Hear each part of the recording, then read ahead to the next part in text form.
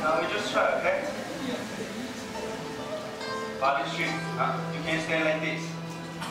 Alright, straight.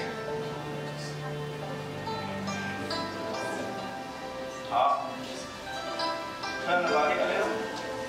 Hold the ball. On the stay on the right leg.